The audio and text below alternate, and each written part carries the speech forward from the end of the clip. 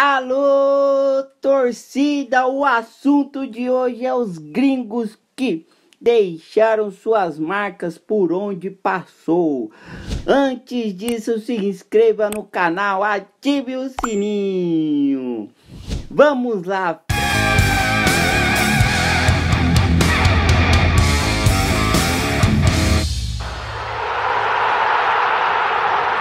Fred Eusébio Gustavo Rincon Valência, mais conhecido como Rincon, ídolo do Corinthians, nascido em Buenaventura, 14 de agosto de 1966.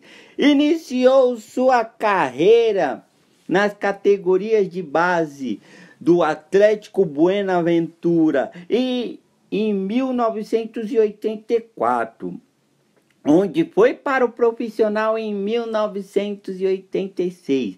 Depois, passando pelos outros times por Independente, América de Cali, Tolima, Palmeiras do Brasil, Napoli, Itália, Real Madrid da Espanha, Palmeiras novamente. E aí, galera? Chegou no Coringão em 1997, onde o craque já havia disputado as Copas de 1990, 1994 e 1998. Mas quando ergueu a taça de campeão do mundo de clubes da FIFA, não vestia a camisa da sua seleção, mas sim a camisa do Corinthians. e também a braçadeira de capitão, onde fez história no meio-campo do time ao lado de Vampeta e Marcelinho, onde ele dominava a situação, cadenciava o meio-campo do timão, escolhia o ritmo. Depois dessas conquistas, foi dar um passeio por outros clubes do Brasil, Santos e Cruzeiro, mas fechando sua carreira de jogador profissional no Corinthians em 2004.